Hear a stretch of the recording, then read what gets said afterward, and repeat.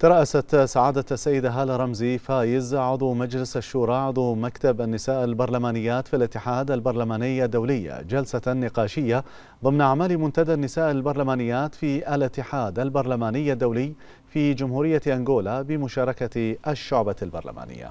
وخلال الجلسة أكدت هالة رمزي على أن استدامة التقدم الذي تحرزه المرأة البحرينية يعكس الدعم الذي تحظى به من لدن جلالة الملك المعظم ومساندة الحكومة برئاسة سمو ولي العهد رئيس مجلس الوزراء مثنية على الاهتمام الكبير بالمرأة البحرينية من سمو قرينة ملك البلاد المعظم رئيسة المجلس الأعلى للمرأة. ولفتت إلى أن المرأة البحرينية وفي إطار جهودها الفاعل الفاعلة والمؤثرة في السلطة التشريعية تحرص على تقديم الرؤى والمبادرات التشريعية التي تعزز الحماية القانونية لمختلف فئات المجتمع.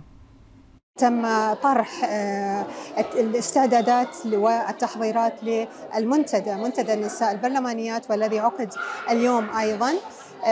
في جلستين.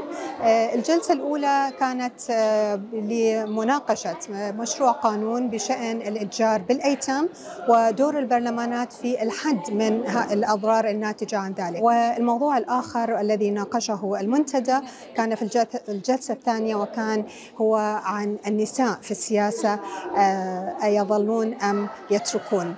وهذه المناقشة كانت تهتم بالسبل الممكنة لدعم المرأة في السياسة لدعمها في مكافحة العنف.